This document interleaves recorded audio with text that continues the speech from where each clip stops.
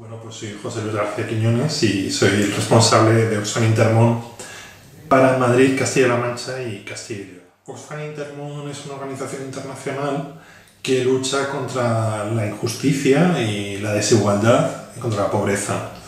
Lo hacemos a través de proyectos de cooperación al desarrollo en países, a través de proyectos de ayuda humanitaria, de emergencias, eh, también a través de campañas de incidencia política y de sensibilización, un programa educativo y mm, otro programa de comercio justo, ¿no? de comercio justo y sensibilización en España. Bueno, el perfil de voluntario que tenemos en, en Oxfam Intermont son sobre todo mujeres, es la mayoría del voluntariado son mujeres de todas las edades eh, y, y, bueno, desde gente muy mayor hasta gente muy joven, hombres y mujeres, pero bueno, son sobre todo mujeres eh, de, de, media edad.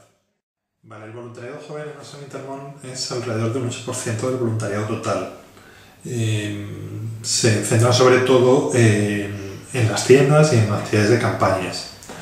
Es un número que, bueno, consideramos razonable. O sea, es un voluntariado el que tenemos en Oxfam Intermón que requiere eh, una colaboración mínima de nueve meses, es decir, un curso académico y más o menos entre las cuatro y las ocho horas semanales. Por lo tanto, nuestra percepción es, eh, en nuestro caso, el voluntariado ha subido, es decir, tenemos más voluntarios ahora que hace unos años. Creemos que esto se debe a factores eh, sobre todo de que el voluntariado se está extendiendo a la sociedad. Me imagino que es un poco la percepción que tienen el resto de organizaciones. Mm, con la crisis hay más personas que han quedado en desempleo y tenemos más personas voluntarias eh, desempleadas que hace años. ¿no? El proceso de captación comienza cuando en un área, mm, sea de oficina o en un proyecto, se ve que necesitamos o queremos contar con personas voluntarias. Elaboramos un, un perfil eh, una, una, descripción de puesto de trabajo que llamamos, exactamente igual que si fuera una persona contratada.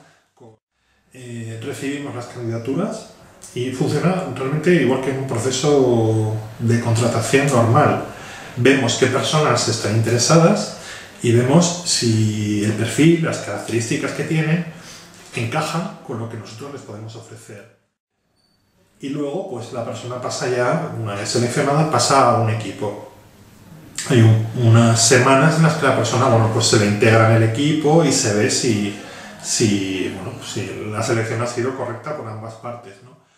Luego hay todo un proceso de acompañamiento, de formación eh, constante, de acogida y, bueno, y, también un proceso de desvinculación, porque el voluntariado muchas veces no es para toda la vida. Aceptamos a la gente qué, motivación tiene. La primera motivación eh, es la de ayudar a los demás, o sea, mm, tengo un tiempo y quiero colaborar, quiero hacer algo para aportar.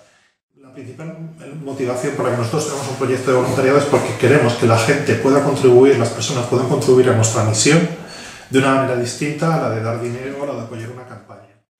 Luego hay otras motivaciones importantes que son eh, pues las ganas de, de, socializar, de conocer a gente distinta, etcétera, que esto lo declara menos, pero en los estudios que sobre voluntariado es algo real eh, la identificación con la misión que tiene Oxfam Intermón, es decir, bueno, me gusta esta organización y pienso que puedo colaborar de esta manera. También las ganas de aprender, que es muy legítimo. Hay estudiantes que quieren tener pues, una, un aprendizaje y nos parece... El principal obstáculo es eh, la, el, el, tiempo y el diseño de un proyecto igual que, que cualquier otro tipo de, de trabajo, ¿no? y encontrar las personas en perfiles adecuados. Y, y bueno, por las dificultades que hoy en día tenemos todas las organizaciones, ¿no? de recursos, de medios, etc. Realmente en lo que supone en la gestión del voluntariado o en el proyecto de voluntariado no tenemos eh, realmente mucha interacción con el Estado. Nosotros nos atenemos a la legislación vigente, hemos participado también, hemos dado ideas sobre el voluntariado a través de la plataforma del voluntariado de España. Hoy por hoy, el, en general, el, los proyectos que tenemos no, no, tienen realmente un apoyo significativo por parte del Estado ahora mismo. Nosotros estamos contentos un poco con la respuesta de la sociedad. ¿no? Lo que se opina o lo que dicen los estudios sobre, sobre la solidaridad en España es que España es un país eh, que responde bastante bien a emergencias. ¿no?